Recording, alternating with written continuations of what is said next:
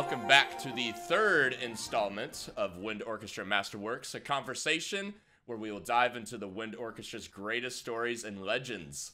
I'm your host, Mike Korson, and here with me once again is the incredible maestro Eugene Corporon. Thanks again for being here, Eugene.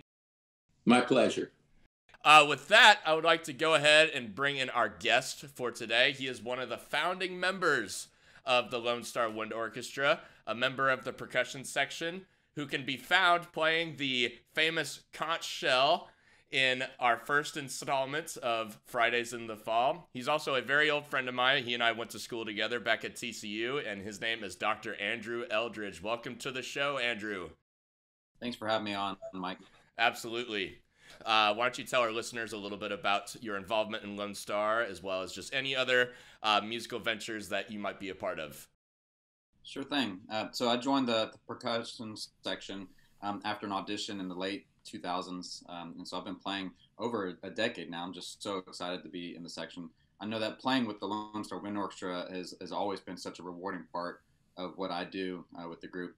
And uh, I don't think uh, Eugene knows this, but one thing I've always talked about that I really enjoy about any group is watching a musician tackle transitions. And to me, the, the real music is in transitions, going between sections to sections. And so I think Eugene is just such a master at doing that I've always really enjoyed watching him do that. I've, I've taken a lot of what he does and, and brought it to some of my own groups. Before we bring our conversation to a close here, I want to take a moment and ask both Eugene and Andrew uh, about the percussion section's involvement in the whole changing lives movement that Lone Star has repeatedly expressed. You know, for a long time, we always talked about groups as uh, woodwinds brass percussion bands, woodwinds brass percussion, period. And percussion usually meant, in the early days, a great bass drummer, a great snare drum player, and a cymbal player. And that was it, maybe the occasional bells.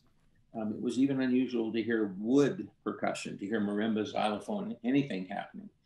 And what's happened uh, basically at the end of the 19th century with Percy Grainger, um, writing this big piece called The Warriors, where he brought in so many percussion instruments that, and he believed that the 20th century and 21st century were going to be the century of percussion. A famous quote of his. People laughed at him at the time.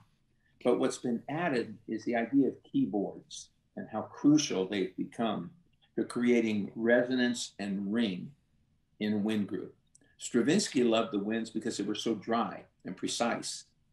But what we gave up, what we give up when the strings are gone, is that resonance that the strings provide. So if you broaden that to include the piano, the celeste, the harp, and electronics these days, mm-hmm. you get this unbelievable, along with mallet instruments, vibraphone, um, marimbas, xylophone, crotales, anything that rings and is pitched. It really changes the sound of the ensemble. And we've had some incredible composers who are also percussionists who've helped with that. Michael Colgrass would be a great example was a famous composer, but also was a professional percussionist. Jack Stamp, professional percussionist. Um, William Kraft. These people have all brought the percussion ensemble in, into the uh, into the 20th and 21st century. Um, I remember and think most about our percussion section two performances that I think were stellar. Um, one was the premiere of Luminosity by Joseph Schwantner that we did at WASBE in California on a tour um, we had the great privilege of bringing that piece to life. And it, Schwantner is one of those composers who really has tapped the percussion. Um, another is, uh, that's from a section standpoint. And the other performance uh, from a soloist standpoint is when we played Stubernic Fantasy at uh, Midwest in 2016, where three percussionists played one instrument, marimba, and uh, the composer Mark Ford was one of the soloists, and we accompanied that. But almost always now, um, the important composers are writing bigger and bigger percussion pe- uh, mm. parts inside the ensemble. So I think it's a crucial, um, a really a crucial uh, addition that's really opened up so much more sound for us in uh, wind music. And our section in particular, it's six to eight artists every time I look back there. Rarely do I even have to ask them anything or ask for them to do anything. They're way ahead of me almost all the time. And um, they're so particular about the sounds they make. Uh, some people make the mistake of thinking you just whack something if you're a percussionist and there you go. Mm-hmm. They have so many decisions to make about mallet, weight of the mallet, mm-hmm. the kind of stick that it's attached to, and where they hit the instrument, how they lift the sound. And it goes on and on. And the last thing I'll say is percussionists are so unusual because they have to learn how to play 50, 60 instruments. Yeah. That they don't just play an instrument. So they, they and sometimes it's even a conch shell, you know.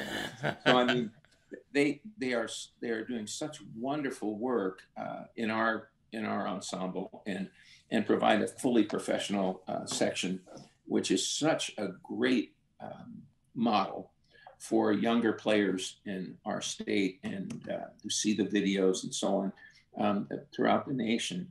And I've had I've had people ask me from Europe and and um, Asia about how do your percussionists play so well and where do they study and what's going on.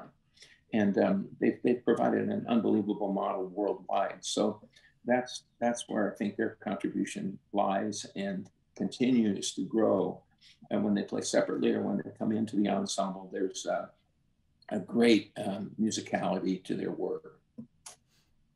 Okay, Andrew, do you want to uh, add anything to like how Lone Star uh, plays a role in the changing lives movement that Lone Star uh, has uh, kind of like just expressed here?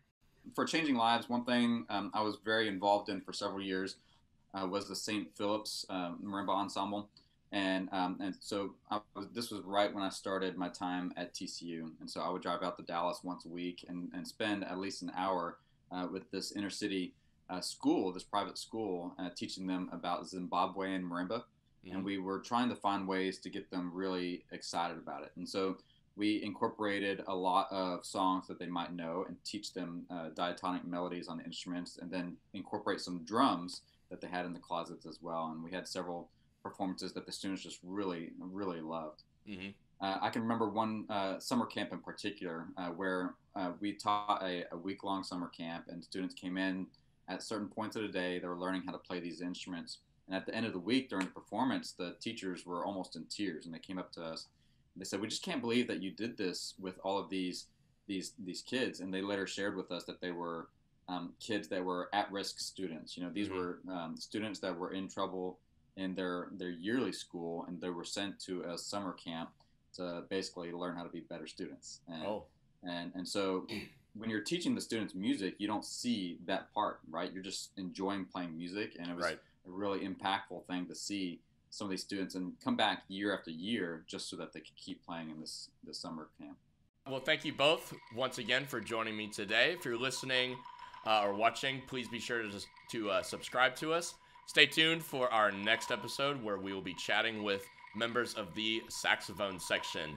Until then, we will see you all next time. Bye!